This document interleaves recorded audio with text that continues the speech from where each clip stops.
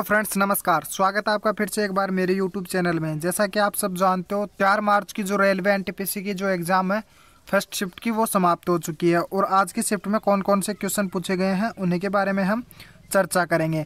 अगर आपने आज की शिफ्ट का पेपर दिया तो प्लीज़ आपको जो जो क्वेश्चन याद है, नीचे दिए गए कमेंट बॉक्स में कमेंट कर देना, ताकि जब भी कोई नया स्टूडेंट ये वीडियो देखेगा, उनको ही पता चल सके कि आज की शिफ्ट में कौन कौन से क्वेश्चन पूछे गए हैं। अगर आपने अभी तक मेरे चैनल को सब्सक्राइब नहीं किया तो प्लीज़ नीचे दिए गए रेड कलर के बटन को दबाकर प्लीज़ चैनल को सब्सक्राइब कर लेना और बगल में स्थित बैल नोटिफिकेशन आइकन को प्रेस कर कर ऑल पर क्लिक कर देना ताकि जब भी मैं कोई नया वीडियो अपलोड करूँगा, उसका नोटिफिकेशन सबसे पहले आपके पास पहुँचे। चलिए गाइज़ वीडियो को स्टार्ट करते हैं और देखते हैं आज के शिफ्ट में कौन कौन से क्वेश्चन पूछे गए हैं। सबसे पहला क्वेश्चन है 2019 का लोकसभा चुनाव कितने चरणों में हुआ था? यानी 2019 में जो लोकसभा का जो चुनाव हुआ था, वो कितने चरणों में संपन्न हुआ था? इसका राइट आंसर है, सात चरणों में संपन्न हुआ था। इसके बाद में हमारा नेक्स्ट क्वेश्चन है वाई आई एम हिंदू, यानी वाई आई एम हिंदू पुस्तक है एक, के लेखक कौन है? यानी जो वाई आई एम हिंदू है, इस पुस्तक के लेखक कौन है? इसका राइट आंसर है शशि थरूर। इसके बाद में हमारा नेक्स्ट क्वेश्चन है नंदा देवी पर्वत किस राज्य में स्थित है? यानी जो नंदा देवी पर्वत है, वह कौन से राज्य में स्थित है? इसका राइट आंसर है उत्तराखंड। राज्य में जो नंदा देवी पर्वत है, वह स्थित है। और कौन से ज़िले में स्थित है उत्तराखंड के? जो चामोली जिला है, वहाँ पर उत्तराखंड के जिल जो राज्य है, वहाँ पर चामोली ज़िले में स्थित है। जो नंदा देवी पर्वत है, भारत की दूसरी और दुनिया की तेईसवीं चोटी है। यानी जो नंदा देवी जो पर्वत है, ये भारत की तो दूसरी और दुनिया की तेईसवीं चोटी है। इसके बाद में हमारा नेक्स्ट क्वेश्चन है, भारत में कब तक मलेरिया मुक्त होने का लक्ष्य रखा है? यानी जो भारत देश है, इसमें कब तक मलेरिया को मुक्त होने का जो टारगेट है, वो रखा गया है? इसका राइट आंसर है, भारतीय चिकित्सा जो अनुसंधान परिषद ने दो हज़ार सत्ताईस तक मलेरिया मुक्त होने का जो लक्ष्य है, वो टारगेट रखा गया है। और 2030 तक मलेरिया को जड़ से ख़त्म करने का लक्ष्य है, जो टारगेट है, वो रखा गया है। इसके बाद में हमारा नेक्स्ट क्वेश्चन है, संयुक्त राष्ट्र का नाम पहली बार किसने प्रयोग किया था? यानी जो संयुक्त राष्ट्र है, इसका नाम सबसे पहले किसने प्रयोग में लिया था या प्रयोग किया था? इसका राइट आंसर है अमेरिकी राष्ट्रपति फ्रैंकलिन डी रूजवेल्ट के द्वारा। इसका नाम संयुक्त राष्ट्र नाम पहली बार प्रयोग में लिया गया था। इसके बाद में हमारा नेक्स्ट क्वेश्चन है, भारत में राष्ट्रगान पहली बार किस अधिवेशन में गाया गया था? यानी जो भारत का जो राष्ट्रगान है, ये पहली बार किस अधिवेशन में गाया गया था? इसका राइट आंसर है 27 दिसंबर 1911 को जो कांग्रेस के कलकत्ता में जो अधिवेशन हुआ था, उसमें जो राष्ट्रगान को है, उसको पहली बार गाया गया था। जो 24 जनवरी 1950 है, को संविधान सभा ने इसे राष्ट्रगान की उपाधि दी थी। इसके बाद में हमारा नेक्स्ट क्वेश्चन है, स्वतंत्र भारत के प्रथम गवर्नर जो जनरल है वो कौन थे? यानी जो स्वतंत्र भारत है, इसके प्रथम जनरल गवर्नर कौन थे? इसका राइट आंसर है लॉर्ड माउंट बटेन इसके प्रथम गवर्नर जनरल थे। इसके बाद में हमारा नेक्स्ट क्वेश्चन है भारत का प्रथम संविधान संशोधन कब हुआ था? यानी जो भारत देश है, इसका प्रथम संविधान संशोधन है, ये कब हुआ था? इसका राइट आंसर है भारतीय प्रधानमंत्री जवाहरलाल नेहरू द्वारा।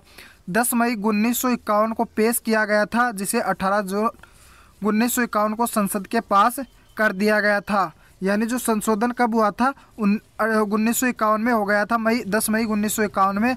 और पास कब किया गया था? 18 जून उन्नीस सौ इक्यावन को इसे पास किया गया था। इसके बाद में हमारा नेक्स्ट क्वेश्चन है, चेरी नृत्य किस राज्य का लोक नृत्य है? यानी जो चेरी नृत्य है, ये कौन से राज्य का लोक नृत्य है? इसका राइट आंसर है राजस्थान। राज्य का जो चेरी नृत्य है, ये लोक नृत्य है। इसके बाद में हमारा नेक्स्ट क्वेश्चन है, किम जोम है, ये कहाँ के शासक था? यानी जो किम जोम है, ये कहाँ के शासक है। इसका राइट आंसर है, उत्तरी कोरिया के किम जोंग शासक है। इसके बाद में हमारा नेक्स्ट क्वेश्चन है सिजदा एवं पेबोस प्रभा का प्रचलन किसने किया था? यानी जो सिजदा एवं पेबोस प्रथा है, इसका चलन या प्रचलन किसके द्वारा किया गया था? इसका राइट आंसर है बलमन के द्वारा। सिजदा का मतलब है झुककर सुल्तान को नमस्कार करना और पेबोस का जो अर्थ है वो सुल्तान के पैरों को चूमना। इस प्रथा का अंत सांझा के द्वारा किया गया था। यानी जो ये प्रथा थी, इसका अंत किसके द्वारा किया गया था? जो सांझा है, इसके द्वारा इस प्रथा का अंत किया गया था। इसके बाद में हमारा नेक्स्ट क्वेश्चन है, अंतर्राष्ट्रीय इंदिरा गांधी हवाई अड्डा कहाँ पर स्थित है? यानी जो अंतर्राष्ट्रीय इंदिरा गांधी हवाई अड्डा ये कहाँ पर स्थित है? इसका राइट आंसर है न्यू दिल्ली में जो अंतर्राष्ट्रीय इंदिरा गांधी हवाई अड्डा ये स्थित है। इसके बाद में हमारा नेक्स्ट क्वेश्चन है मिसाइल मैन के नाम से किसे जाना जाता है? यानी जो मिसाइल मैन है, इसके नाम से किसे जाना जाता है? इसका राइट आंसर है doctor A P J Abdul Kalam को मिसाइल मैन के नाम से जाना जाता है।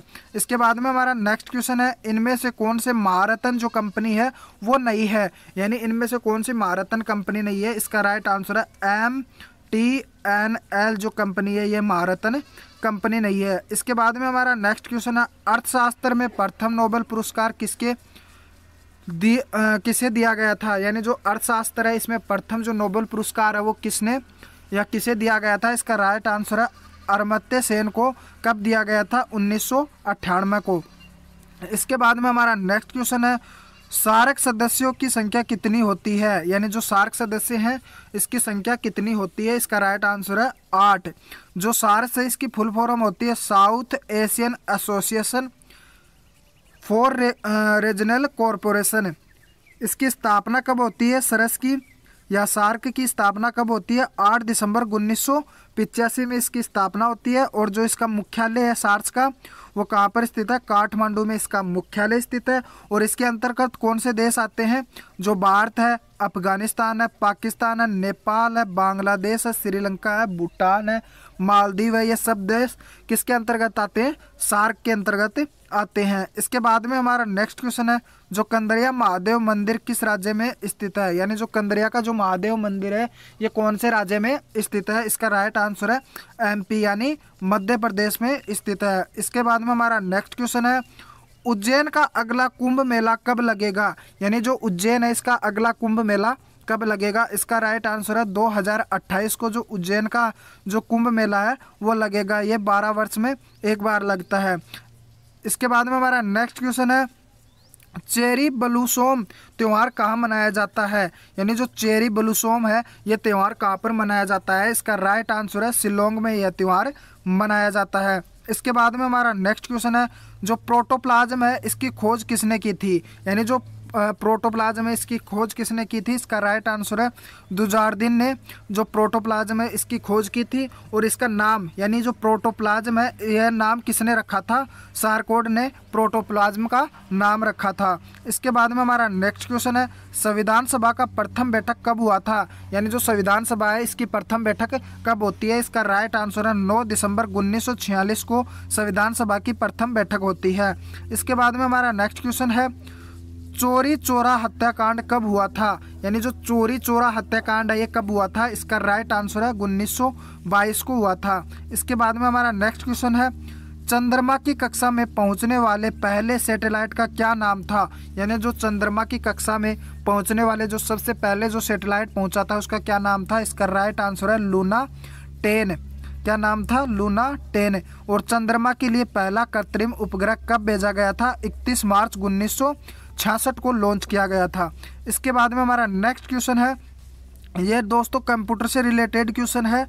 कॉपी पेस्ट के लिए किस शॉर्टकट कुंजी का प्रयोग किया जाता है? यानी जो कॉपी पेस्ट है, इसके लिए कौन सी शॉर्टकट कुंजी का प्रयोग किया जाता है? जो कॉपी है, इसके लिए कंट्रोल प्लस सी का उपयोग किया जाता है और जो पेस्ट है, इसका कंट्रोल प्लस वी का उपयोग किया जाता है और जो कट करने के लिए उपयोग में लिया जाता है, वो है कंट्रोल प्लस एक्स का उपयोग किया जाता है, जबकि अंडो करने के लिए कंट्रोल प्लस जेड का उपयोग किया जाता है, जबकि रेडो करने के लिए कंट्रोल प्लस वाई का उपयोग किया जाता है।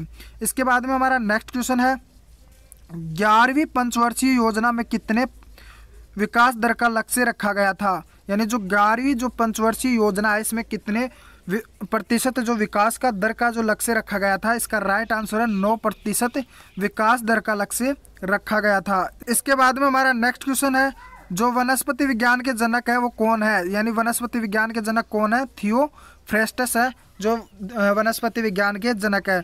तो दोस्तों, आज की वीडियो हमारी इतनी थी। मिलते हैं नेक्स्ट वीडियो में। अगर आज की शिफ्ट का आप पेपर देकर आए हो, और प्लीज़ आपको जो जो क्वेश्चन याद है प्लीज़ कमेंट बॉक्स में कमेंट कर देना ताकि जब भी कोई नया स्टूडेंट ये वीडियो देखेगा, उनको भी पता चल सके कि आज की शिफ्ट में कौन कौन से क्वेश्चन पूछे गए हैं।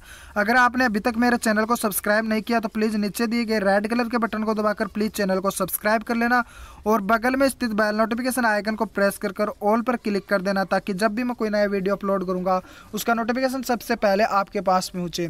चलिए गाइज़ मिलते हैं नेक्स्ट वीडियो में, तब तक के लिए bye bye and take care friends जय हिंद दोस्तों। वीडियो देखने के वास्ते थैंक यू भाई लोग। एंड अभी इसको लाइक भी करो भाई कमेंट भी करो और सब्सक्राइब भी करो। ये तुम्हारा अपना चैनल है दादा। अच्छा सुनो सब्सक्राइब करते वक्त ना घंटी बजा देना ताकि जब मैं ऑनलाइन आऊँ तो तुम्हारे फ़ोन की भी घंटी बजे।